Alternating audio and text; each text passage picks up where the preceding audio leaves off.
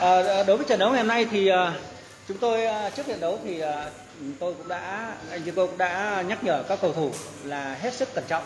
Bởi vì đá sân nhà của Thanh Hóa là Thanh Hóa mà đội đá sân nhà rất mạnh.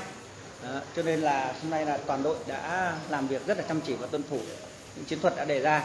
Và chúng tôi đã có những cái cơ hội nhiều cơ hội và chúng tôi đã tập được được hai cơ hội ghi bàn.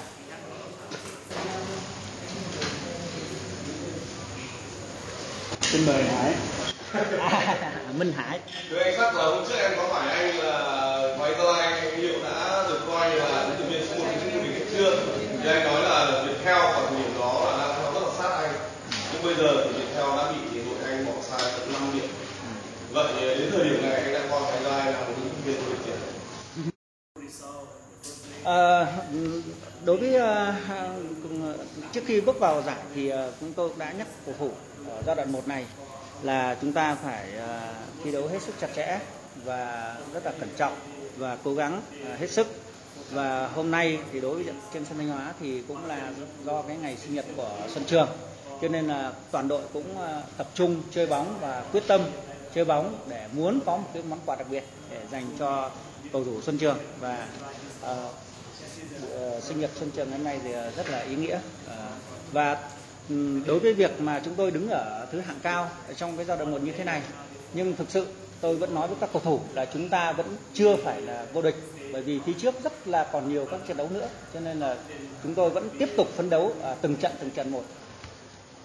Mặc dù đây là món quà cho sân trường tuy nhiên người thực hiện penalty lại là công phượng. Không biết rằng trước trận đấu này nếu như có giả sử có penalty thì à, kia sắc có phân công là ai là người penalty không hay là chỉ định là trường thế nào. À, à, có phân công trước rồi trường Phượng Thanh lần lượt à, theo thứ tự. But we cannot score uh, penalty three. Em hỏi một anh kia sau câu ờ, là 2007 anh là huấn luyện viên Hoàng Gia Lai thì đến đây thua 0-2 và 2010 cũng thua 0-2 thì lần này 1 tháng 21 thì cái cảm xúc của anh có thấy căng cứng khi mà sân hóa lần thứ ba trong công ty huấn luyện Hoàng Lai đá trận đấu ngày hôm nay À, tôi cũng uh, chính vì cái, cái quá khứ như thế cho nên là cũng đã cũng đã nhắc với cầu thủ là không bao giờ được phép chủ quan đặc biệt là trên khách và tập trung tối đa 90 phút. À, bộ bộ đức xin mời cái chỉ chưa ban đầu đưa ra chỉ định không là và đến bây giờ của anh là một quyết định mình. Nếu có đổi lại với ông thì không là có bao giờ đề cập đến chuyện là vô địch hay không À, đối với à, khi mà anh Zico đến dắt đội bóng thì à, thực sự ra nói thì à, anh Zico cũng chỉ hứa với cô Đức là làm những gì tốt nhất cho đội bóng thôi. Và sau một cái thời gian mà chúng tôi có những cái màn trình diễn như thế này đạt được kết quả tốt thì uh, anh Diego cũng chưa có thảo luận gì với cô Đức cả. Nhưng mà uh, khi mà đạt được cái uh, vị trí cao như thế thì thực sự đó là cái phần thưởng cho cho chúng tôi ở giai đoạn một như thế này. Em hỏi một câu là cái danh hiệu của huấn luyện viên xuất sắc nhất hàng là do rất nhiều đồng nghiệp của anh là người mà bầu cho anh. Tất cả mọi người đều cho rằng anh rất là xứng đáng, được coi là huấn luyện viên giỏi nhất trong những cái vòng đấu vừa rồi. Cảm xúc của anh như thế nào khi được công nhận như vậy? Và ở đất nước Thái Lan của anh thì họ chào đón cái thành công của anh trên đất nước Việt Nam như thế nào? Trước hết thì anh ấy muốn cảm ơn tới tất cả mọi người đã bình chọn cho anh Zico ở Việt Nam cũng như ở Thái Lan cũng rất là muốn à, xem cái giải V-League và đó là cái niềm rất là hạnh phúc, nhưng mà thực sự nhiệm vụ của anh Zico thì à, vẫn chưa hoàn thành. Dạ, nhưng mà anh cũng rất là gửi lời cảm ơn đến tất cả mọi người.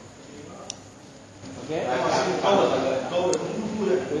Vì là trong hiệp một thì anh khi sắp đã chặn được quả bóng để đưa cho cầu thủ Hoàng Gia tấn công bóng liên tục khi mà phía Thanh Hóa cố tình làm chậm trận đấu.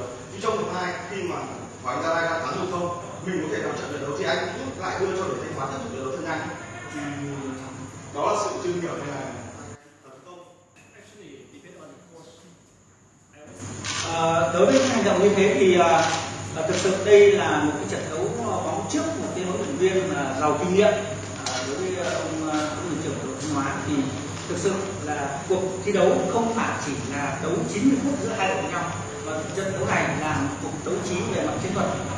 Ờ, và huấn luyện viên có những sự thay đổi ờ, căn cứ vào trận đấu phải có những cái thay đổi liên tục trong quá trình đấu bởi vì có những thay đổi bởi vì là bên kia họ ờ, huấn luyện trưởng đội thanh hóa cũng người có kinh nghiệm, có thể đọc ra những vấn đề của bên hoàng anh và bên bùi xuân anh cũng phải tận dụng, đánh giá được từng thời điểm để thay đổi những cái phương thức mà chúng tôi làm sao phải có điểm trận nào Vâng ạ, vâng ạ.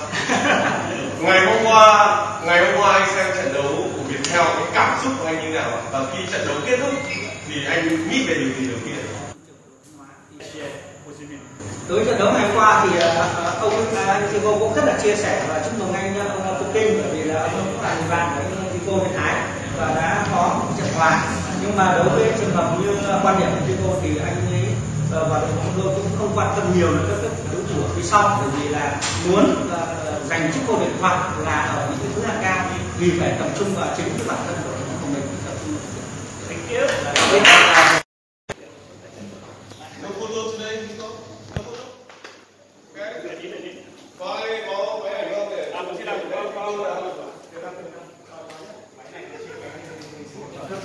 Bây giờ thì ờ, huấn luyện viên Chico sẽ chụp ảnh ờ, lưu niệm cho các bạn.